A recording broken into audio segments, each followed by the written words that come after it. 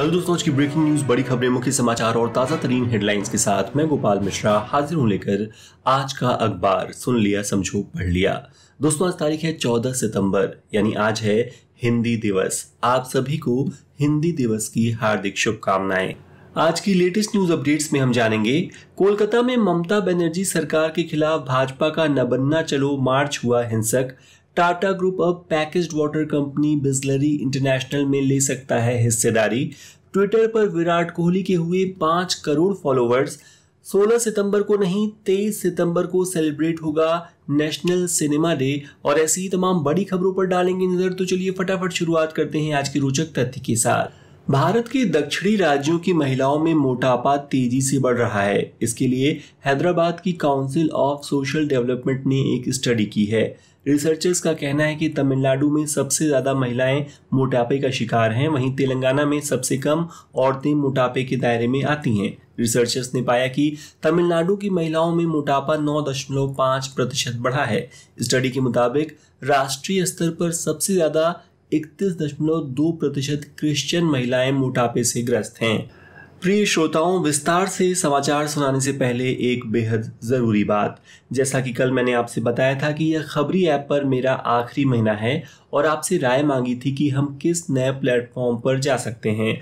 अधिकतर लोगों ने YouTube को एक सही विकल्प बताया है और मुझे भी यह अन्य विकल्पों से बेहतर इसलिए लगता है क्योंकि सबसे बड़ी बात, हम सब YouTube से भली भांति परिचित हैं। किसी को कोई नया ऐप इंस्टॉल करने की ज़रूरत नहीं है। दूसरा, YouTube पर हम सब अपनी एक स्ट्रॉन्ग कम्युनिटी बना सकते हैं और आसानी से एक दूसरे से कमेंट्स लाइव सेशंस व अन्य तरीकों से इंटरेक्ट कर सकते हैं। हालाँकि शो ऑडियो फॉर्मेट में ही रहेगा।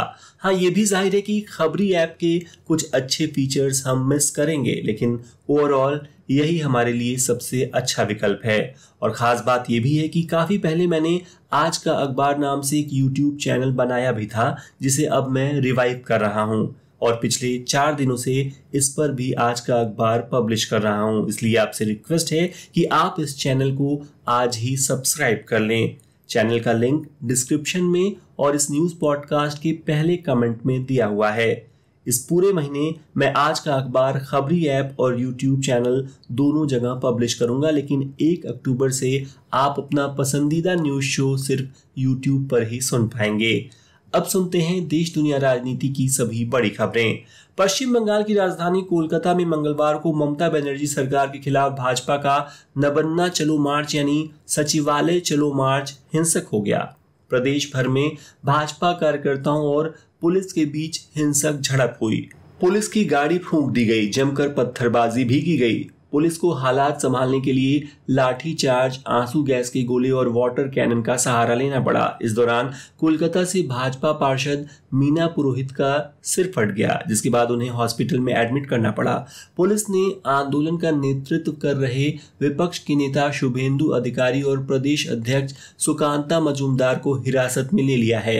हिरासत में ले जाने के दौरान शुभेंदु अधिकारी का एक बयान सोशल मीडिया पर वायरल हो रहा है, जिसमें वे एक महिला ऑफिसर से कह रहे हैं don't touch my body I am male देश में कोरोना के मामले लगातार घट रहे हैं। कल जारी आंकड़ों के मुताबिक पिछले 24 घंटों के दौरान देश में कोरोना के चार हज़ार तीन सौ उनहत्तर नए मामले सामने आए।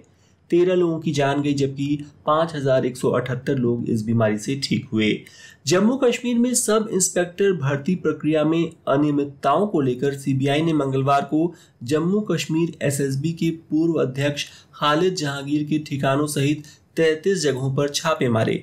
Jammu Kashmir service selection board के एग्ज़ाम कंट्रोलर अशोक कुमार के ठिकानों पर भी तलाशी ली जा रही है। अयोध्या में रामलला विराजमान की तारीख तय हो गई है। 14 जनवरी 2024 को रामलला विराजमान होंगे और भव्य राम मंदिर में दर्शन शुरू हो जाएगा। हैदराबाद के होटल में सोमवार रात 10 बजे आग लग गई। हादसे में आठ लोगों की मौत हो गई। पीएम मोदी ने हादसे पर दुख जताया है। उन्होंने हादसे में मरने वालों को दो दो लाख और घायलों को पचास पचास हज़ार रुपए देने की घोषणा की है। बताया जा रहा है कि यहाँ एक ई स्कूटर रिचार्ज यूनिट थी, जिसके चलते आग लगी। भोपाल में नर्सरी में पढ़ने वाली साढ़े तीन साल की बच्ची से दुष्कर्म का सनसनीखेज मामला सामने आया है। बस ड्राइवर पर रेप का आरोप लगा है। उस पर दुष्कर्म और पॉक्सो एक्ट के तहत मामला दर्ज कर लिया गया है। केंद्र सरकार ने कैंसर के इलाज में इस्तेमाल होने वाली चार दवाओं समेत चौतीस नई मेडिसिन को आवश्यक सूची यानी national list of essential medicine NLEM में जोड़ दिया है। एन में उन दवाओं को शामिल किया जाता है जो ज़्यादा से ज़्यादा लोगों के काम में आती हैं। इन दवाओं का अधिकतम दाम सरकार कंट्रोल में रखती है। हालाँकि 26 दवाओं को इस लिस्ट से कल निकाला भी गया है। गरीब सवर्णों को आर्थिक आरक्षण देने के लिए संविधान में किए गए 103वें संशोधन के खिलाफ दायर याचिकाओं पर सुप्रीम कोर्ट में मंगलवार को सुनवाई हुई। सुनवाई के दौरान अदालत ने पूछा विशेष वर्ग को आरक्षण से बाहर क्यों करें? के के वेणुगोपाल के पद खाली करने के बाद सीनियर एडवोकेट मुकुल रोहतगी को भारत का चौदहवा अटॉर्नी जनरल यानी एजी नियुक्त किया जाएगा। इससे पहले वे जून 2014 से जून 2017 के बीच एजी रह चुके हैं। आम आदमी पार्टी सरकार में पंजाब के वित्त मंत्री हरपाल सिंह चीमा ने भाजपा पर आपके दस विधायकों को खरीदने के प्रयास के आरोप लगाए हैं। कहा कि उनके पास इसकी ऑडियो रिकॉर्डिंग भी है। उज्बेकिस्तान में 15 से 16 सितंबर को होने वाले शंघाई सहयोग संगठन के सालाना शिखर सम्मेलन के तीन दिन पहले मंगलवार को भारत चीन सीमा से अच्छी खबर आई है। पूर्वी लद्दाख के तनाव वाले गोगरा हॉट स्प्रिंग 15 क्षेत्र से भारत और चीन की सेनाएँ पूरी तरह से अब हट गई हैं। बिहार के बेगूसराय ज़िले में हाईवे पर बाइक सवार दो बदमाशों ने लगभग 30 किलोमीटर तक पिस्टल से ताबड़तोड़ फायरिंग की। इन साइको किलर्स ने जो मिला उसे शूट किया। हमले में एक व्यक्ति की मौत हो गई, जबकि नौ लोग घायल हैं। बदमाश अभी भी फरार हैं। सुप्रीम कोर्ट ने सोमवार को केंद्र सरकार को पाकिस्तान की जासूसी करने वाले भारतीय को 10 लाख रुपए मुआवजा देने का आदेश दिया।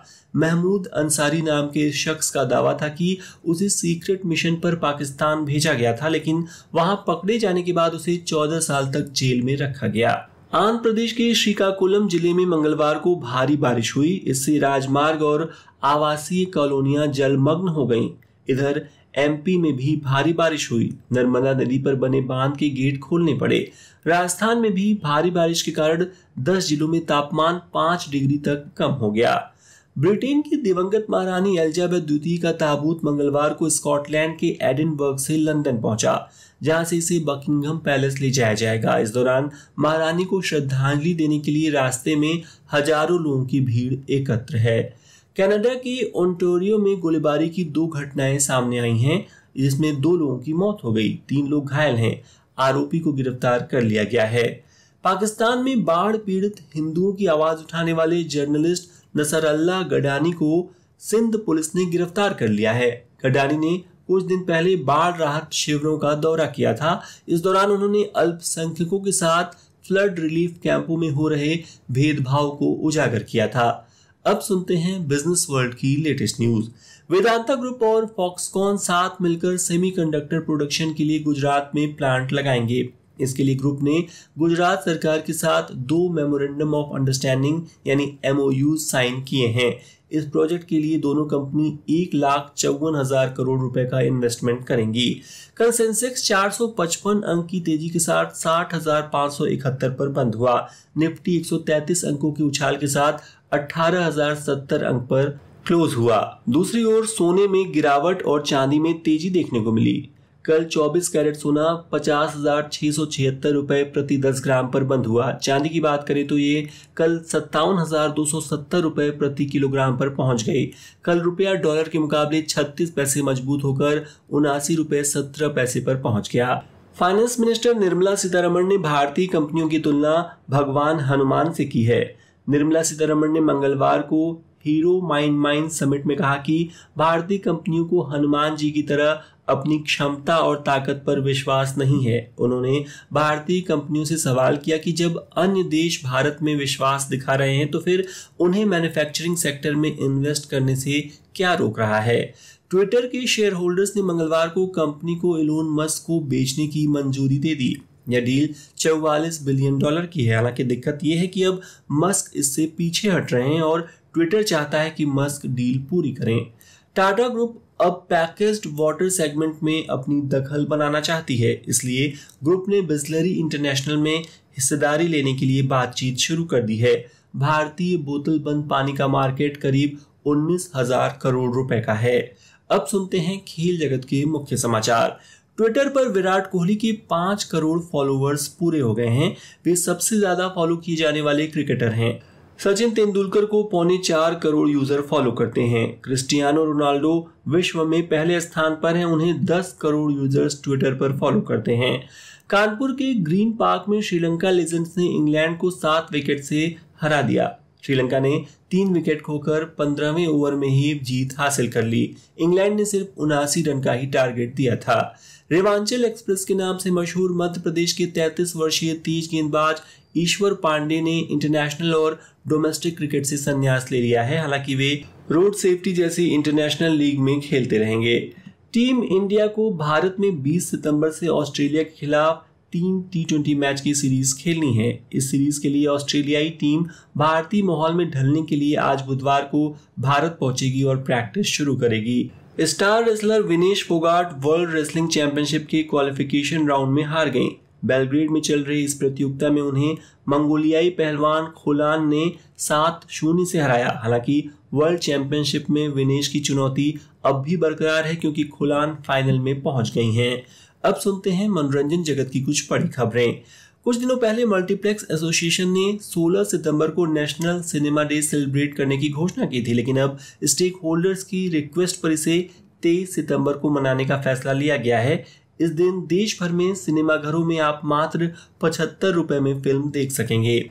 जिया खान की मौत सालों से रहस्य बनी हुई है। हाल ही में एक्ट्रेस की माँ राबिया खान को जिया खान सुसाइड केस में बड़ा झटका मिला है। बॉम्बे हाईकोर्ट ने जिया सुसाइड केस को दोबारा ओपन करने से इनकार कर दिया है।